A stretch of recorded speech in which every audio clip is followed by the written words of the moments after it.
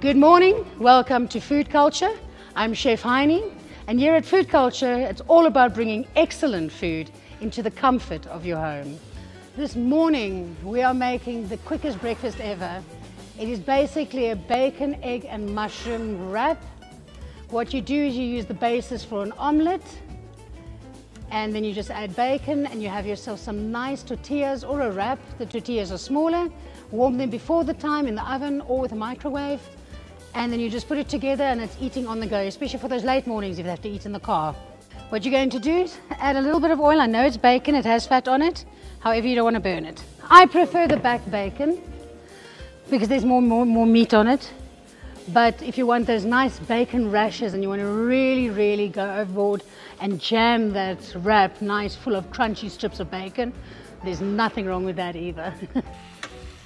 you can use a fork, you can use your fingers, or you can just throw them all over the place. There's nowhere written that it has to be cooked like this. Your tortillas, you usually look on the back, they've got a recipe for you to heat them. You can stick them in the microwave, stick them in the oven, or you can heat them in the frying pan. And what I'm gonna do is, we're just gonna, one,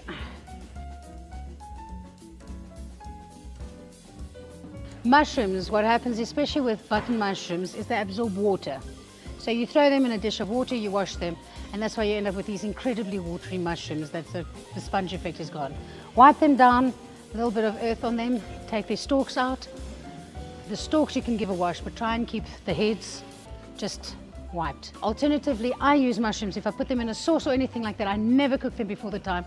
I throw them raw into the hot sauce and they cook. We'll show you how to peel a mushroom, but it's unnecessary.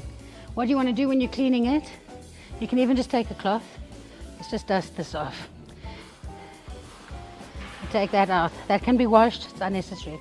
If you've got picky children or picky everyone, what you can do is you take it from the inside and you go one, two,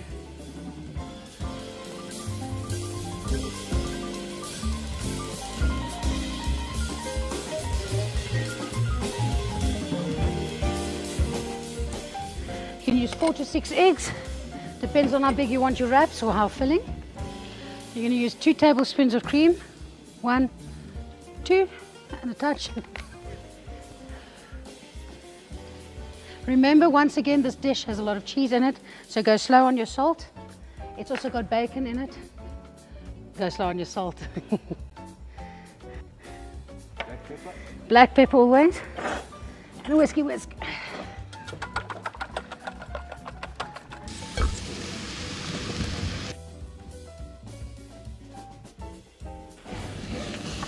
Ah, these are nice.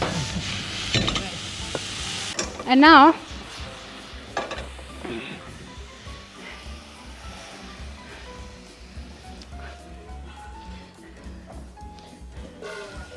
this is the part where I want to draw your attention. It's not scrambled. Everyone does scrambled. Pull it slowly. You don't want it looking like popcorn when you're finished with it. Then, when the pan is hot, put in your spring onions and your parsley. Okay. Put in a little bit of this so it gets nice and melted.